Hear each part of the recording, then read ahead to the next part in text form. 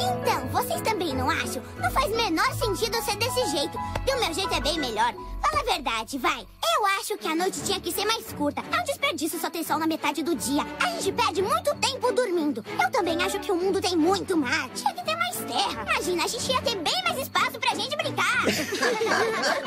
Mas esta boneca tem uma opinião pra tudo. e sempre fala o que pensa, não é, Emília? É claro, não dá pra falar uma coisa que eu não pensei, né?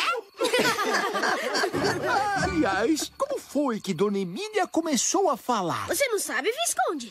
Ah, quando eu fiz o Visconde, a Emília já falava pelos cotovelos. É, e vocês nunca me contaram esta história. Então deixa que eu conto. Foi assim. Um dia eu tava chegando em casa e aí.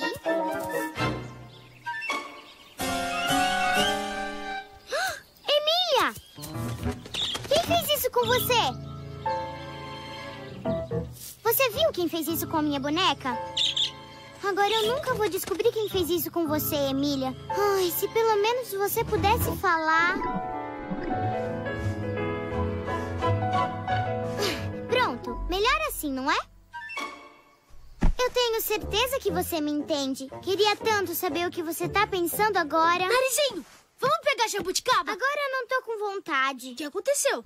Ai, eu queria poder conversar com a Emília. Eu tenho certeza que ela tem muita coisa pra falar. Já sei. O quê? Vou dar um jeito da Emília falar com você.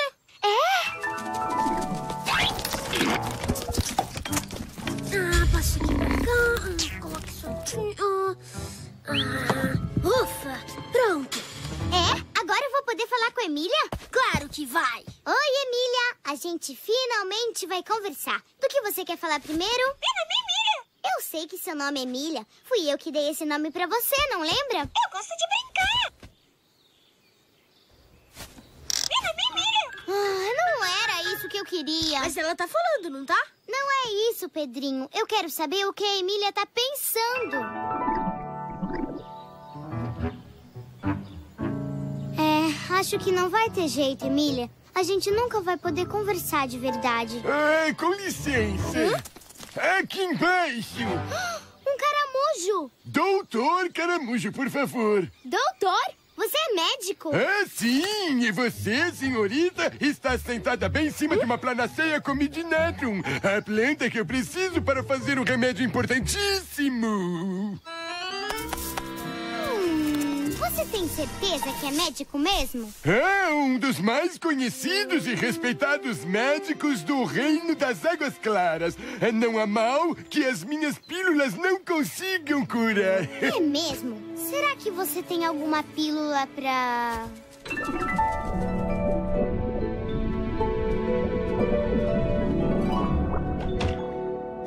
Mas assim não é possível. Ah, aqui não está, e nem aqui está, ah, e muito menos aqui está. Ah, mas onde foi que eu coloquei aquela pílula? Ai, achei. A pílula valente. Ah, vamos colocar na boca da sua boneca. Ah, ah,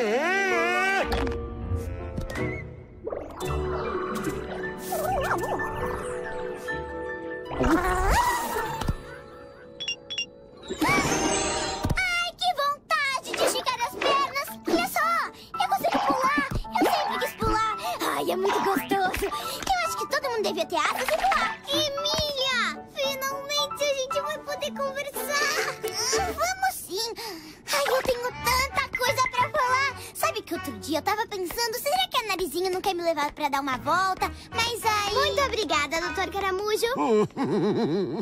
Não faz menor sentido ser desse jeito. O meu jeito é bem melhor. Fala a verdade, vai. Ai, Narizinho, eu tô tão feliz que a gente pode conversar. Ai, que emoção.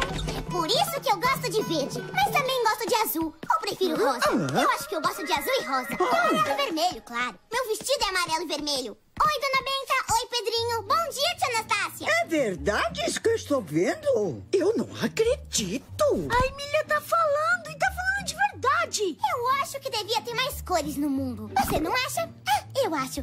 Já sei. Vou inventar algumas cores novas. Maritelo é minha nova cor. As cores que que já existem já são muito usadas. Que ideia boa! Eu nunca tinha pensado em inventar uma cor. Pelo jeito, ideia é o que não falta pra essa boneca.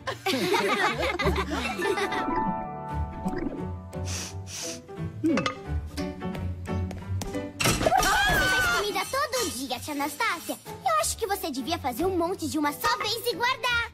Dona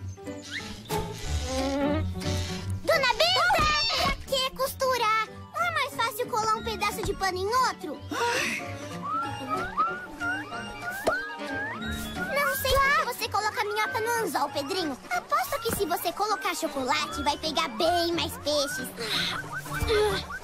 Ah, A vida é cheia de coisas inexplicáveis, não é? Sabe o que eu não entendo? Por que tem hora que as plantas ficam sem flor? Mas essa boneca não para de falar um segundo. Desse jeito não há quem aguente. E você ir pra brincar com ela. Quem sabe ela se cansa e para de falar um pouco. Eu acho que as plantas deviam ter flor o tempo inteiro. Emília, tive uma ideia. Vamos lá fora brincar de casinha? Lembra? A gente sempre brinca de casinha. É claro que eu lembro. Só que eu não gosto de brincar de casinha. E agora finalmente eu posso dizer isso. Hum. Ah, tem outras brincadeiras mais legais. Eu gosto de brincar de várias outras coisas. Não fica assim, Nadizinho. Vamos deitar. Talvez quando amanhecer, essa boneca já tenha esgotado tudo que tem pra falar. Hum, aliás, por que criança tem que nascer pequena? Devia ser o contrário. Todo mundo devia nascer grande e diminuindo com o tempo. Narizinho, eu não aguento mais. Eu também não. Acho que o sol é quente demais. Enxada, Está impossível dormir nessa casa. Também tem outra coisa. Por que a gente veio pra sala? Não é hora de dormir? Ah, mas eu acho muito bom, porque a gente perde muito tempo dormindo. E por que a gente tem que deitar pra dormir? Eu acho que a gente devia dormir em pé. Nadizinho, alguma coisa precisa ser feita. Mas o que eu vou fazer? Ah, não sei, mas você tem que dar um jeito. Será que o doutor Caramujo não tem uma pílula pra curar essa tagarelice? Meu jeito é bem melhor. Fala a verdade, vai. E comemorar debaixo d'água. Você acha bom? Deve ser bom, porque aí você não precisa tomar banho. Ela não para de falar. Ela fala o tempo inteiro. E ninguém aguenta mais. Você precisa dar uma pílula pra ela falar menos. Eu sei. É, infelizmente, uma pílula para falar menos não existe, mas Mas. eu posso preparar uma pílula que vai fazer ela parar de falar de vez. De vez? Tudo bem, pode fazer a pílula. Quando me dão banho, eu demoro muito pra secar. Por isso eu não gosto muito. Mas aí a narizinho quer me lavar, né?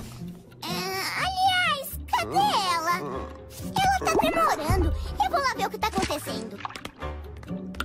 Narizinho, o que você tá fazendo? Ah, doutor Cara de Coruja! Doutor Caramujo, Emília. Eu queria agradecer a pílula que o senhor me deu. Ah, disponha, disponha. Que bom que a Narizinho encontrou o senhor. O sonho dela era me ouvir falar. E sabe por quê? Porque ela é a melhor dona do mundo. Hã? Eu adoro viver com ela. E agora a gente pode conversar. E vai ser melhor ainda. Ela vai saber o que eu tô pensando. E eu vou poder perguntar pra ela o que ela tá sentindo. Pronto! Acabei de fazer a pílula! Ah, vamos colocar na boca da sua boneca. Ah, ah.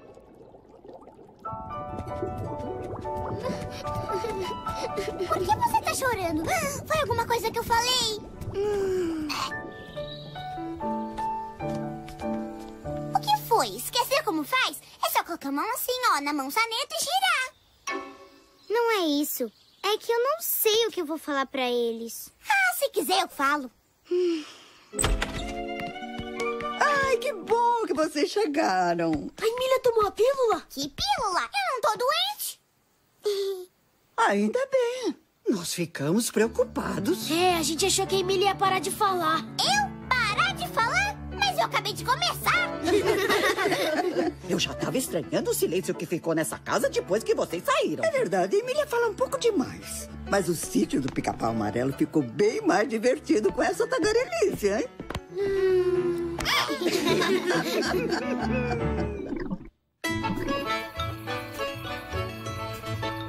Foi assim que a Emília começou a falar. É, foi assim mesmo. Aquele doutor cara de coruja sabe o que faz. Aliás, isso me lembra que outro dia eu... Nunca mais parou.